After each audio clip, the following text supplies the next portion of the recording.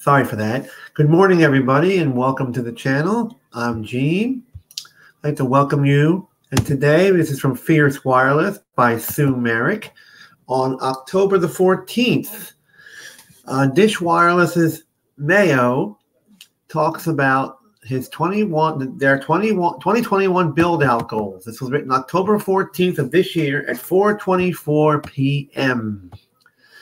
Dish Network Executive Vice President of Network Development Dave Mayo discussed the company's top priorities for its 5G network for 2021 with the Wireless Infrastructure Association's Connect Connect event, Connect X. Connect X. Dave Mayo, Dish's network EVP of Network Development, outlined the company's 2021 build out goals and discussed some of the steps that Dish is taking to create a startup business mentally for its 5G network, even though it's a mature company with successful legacy direct broadcast satellite business, TB, DBS business. Mayo, who spoke last week at ConnectX, the Wireless Infrastructure Association annual event that was held in Orlando, Florida, outlined key areas of focus for his team for 2021. Number one on the list is working closely with its Open Radio Access Network, Open RAN, vendors Mavenir Systems and AltoStar, Altiostar, sorry, to make sure that the Open RAN solutions are integrated with Nokia's virtualized core network. Mayo said that it's important for Dish to use Open RAN because disintegrating the software that controls the radios from the physical radio itself. The operator will be able to have more control over the features and functionality of its network. This is a great opportunity to do something very different from the other guys, he said. He also jokingly referred to Ericsson and Nokia as the Scandinavian mafia because he said that his prior work with T-Mobile, the operator was always pushing the two vendors to deliver new radio functions and features that would give it better capacity and the capacity, and the vendors never moved quickly enough.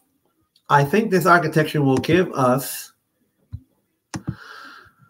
the ability to be proactive and bring those features to the market.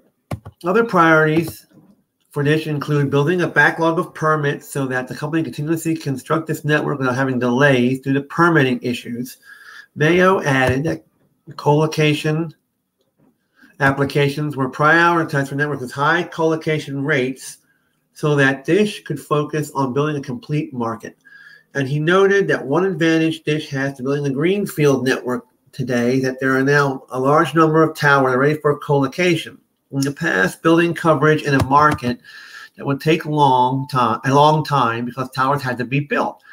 Today, that doesn't happen very often because over the years, U.S. many over the years, U.S. has many more tower sites were constructed to handle additional capacity that is needed today. Dish is also focused on ramping up its supply chain for all the things that it needs to construct this network, including transport. Mayo added that so far the company hasn't expected experienced any many issues with the supply chain, and he is cautiously optimistic that it won't have any major problems.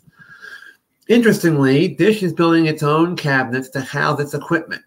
Mayo said that the company has retrofitted some of some of Dish's warehouses where the company had handled set-top box refurbishment now those employees are building cabinets for the company's wireless gear.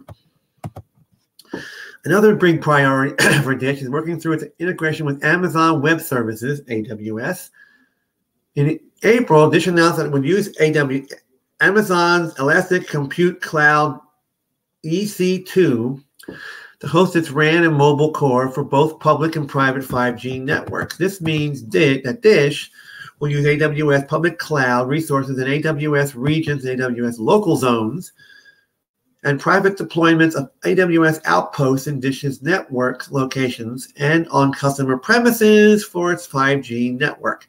Mayo said that the company is working closely with AWS on integrating its platforms and building connectivity. To that end, the company announced earlier this week that Experian Communications will provide the autonomous testing and validation of Dish's 5G core network. That includes interoperability testing in a public cloud environment with AWS. Finally, the company is also razor focused on its Las Vegas market where it will begin beta testing in the fourth quarter. Mayo said that he calls the market the Las Vegas lab and said the company is hoping to get that beta test started in a few weeks. Interestingly, Mayo had very high praise for Nexus 1, the vendor the company is using to help it manage all of its deployment. Mayo called it Nexus Dash 1's cloud based platform, a project management tool, and said that the software tool set was unlike anything he's seen. All right. Well, we want to thank you for watching this channel.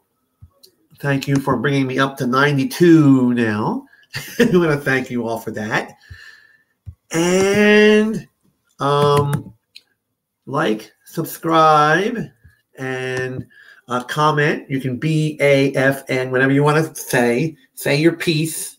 You are the you are the um, folk. You are the pulse of this channel. And as you know, today, October the 18th, is the day of the Apple event, which is going to be at 1 p.m. Eastern Time, 10 a.m. West Coast time. I'll be able to see a half an hour of it, but then tonight I'll have to watch a replay at my house. I work tonight. So thank you for watching. Thank you for being here. And thank you again to my 92 subscribers now. And thank you again. Have a great day. Take care. Boop, boop, boop.